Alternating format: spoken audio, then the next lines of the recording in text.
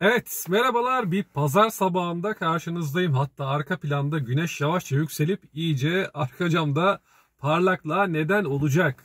Bugünkü konum ne? Piyasadaki duruma dikkat etmeniz gerekiyor. Bildiğiniz gibi enflasyonla ilgili çok da değişen bir şey yok. Enflasyon hala yüksek. Marketler ıvır zıvır biz şunu arttırmayacağız, şöyle yapmayacağız falan deseniz de örnek ne bileyim tarım krediye gittim geçen de hani indirimler olacaktı falan. Hiç alakası yok. Hiç de öyle bir durum yok. Haliyle piyasaya total olarak bakmak lazım. Şimdi özellikle otomobil fiyatlarının ciddi anlamda düştüğünü görüyoruz. Sıfır otomobillerde zaten liste fiyatlarında da düşüşler var. Kampanyalı fiyatlar açıklanıyor. Bayiye gidiyorsunuz daha da sert indirimler var. Örnek en güzel örnek size neyi verdim? Kaşkay 1.8 milyondan 1.4 milyonlara indi bayide. Kampanyalarda listelerde 1466 görüyorsunuz. Bayi size 1.4 milyon fiyat veriyor. Bu da otomobil pazarının sıkıştığı anlamına geliyor. Ama sıkışmasındaki temel neden kredi yoksunluğu. Kredi yok. Kredi kullanımı yok. Bankalar bunu zorlamış durumda. Açsalar bile kredi faizleri yüksek. insanlar buna yanaşmıyor. Şimdi böyle olunca bankalar basitçe ne yapar? İşte size paranızı yatırırsınız oraya. Der ki %40 faiz veriyorum sana. Biri de kredi çeker ondan da %60'la gerisini alır. Yani aradaki fark da temel olarak bankalar para kazanır.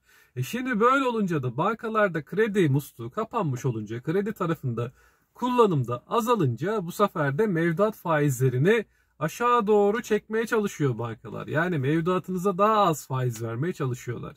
Risk 1, risk 2, borsadaki düşüş. Savaş sonrasında borsada bir düşüş var. Dolar stabil. Şimdi bunlara bakınca özellikle yine otomobil pazarına gözler tekrar dönebilir. Bu riskleri her zaman göz önünde bulundurun. Yani diyorsunuz ya otomobil fiyatı indikçe inecek, indikçe inecek. O dip belki gözükmüş olabilir.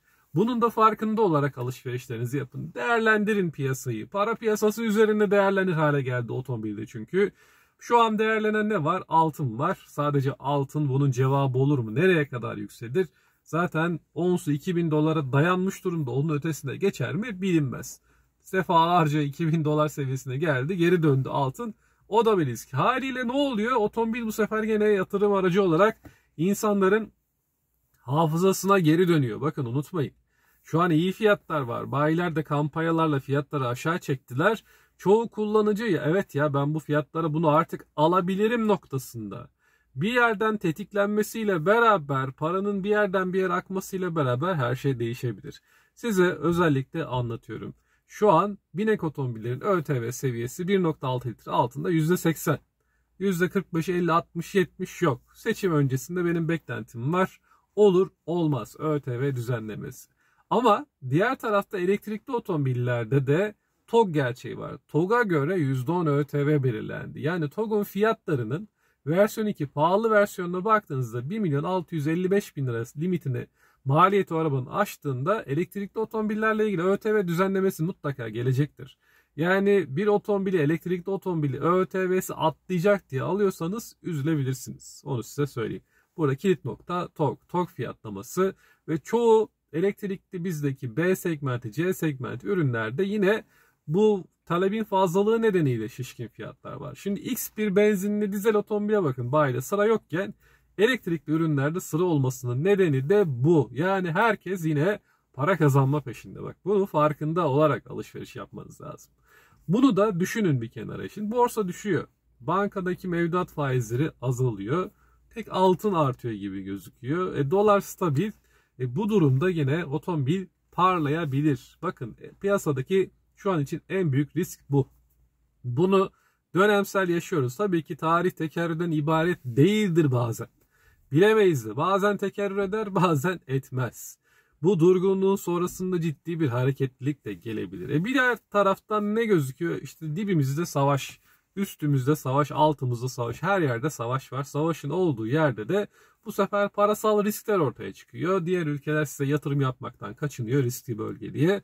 E bu da doların bir yerde tutulmasını zorlaştırılıyor. E ne oluyor? Dolar bir yerde tutulamazsa otomobilin fiyatta nasıl nasıl siyaret, sirayet ettiğini seçim sonrasında gördük. Dolar zıplayınca otomobil fiyatları da birden zıplayıverdi. Bunu da Aklınızın kenarında tutun. Yani bunu alım satım anlamıyla söylemiyorum. İhtiyacı olanları söylüyorum. Alım satımcılar ne yaparsa yapsın onları ben ne yaptıkları beni ilgilendirmiyor açıkçası. Ben burada normal kullanıcı üzerinden gidiyorum. Yani normal kullanıcı şunun gazına gelip ya daha da düşer. Daha da düşer gazına gelip ya ben araba almayacağım bak sürünsünler mantığıyla üzülebilirsiniz. Bakın güneş çıktı biraz parlamaya başladı şöyle kapatayım. şöyle mi geçsem? Neyse biraz parlasın ne yapalım ya.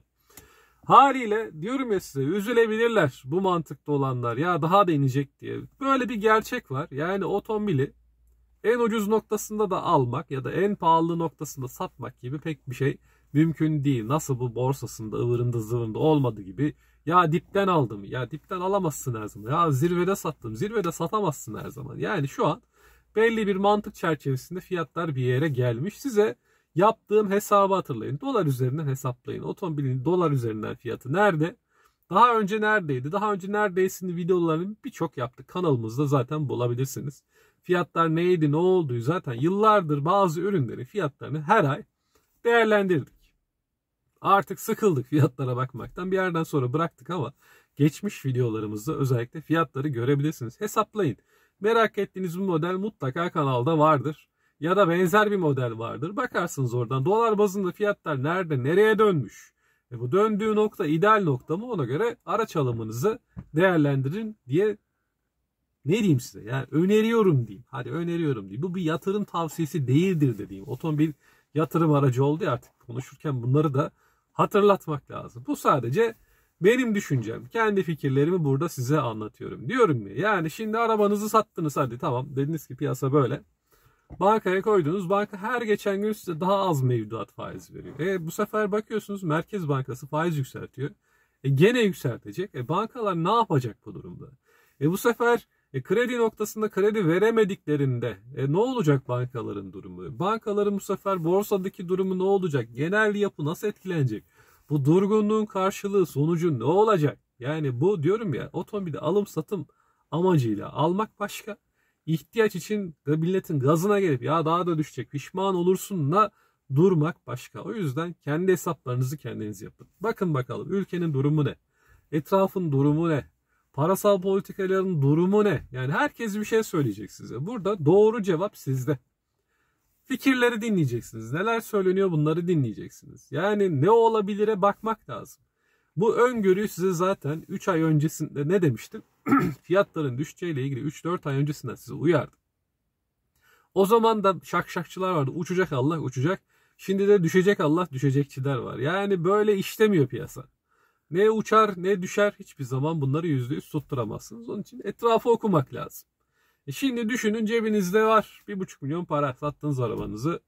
E mevduat faizli her geçen gün pazarlık yaparak almaya çalışıyorsunuz ama iniyor faizler teklif edilenler iniyor. E borsaya baksanız e borsa riskli zaten iniyor.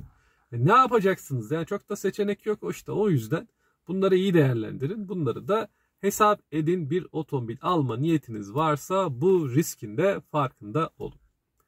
İzlediğiniz, dinlediğiniz için teşekkürler. Takipte kalın.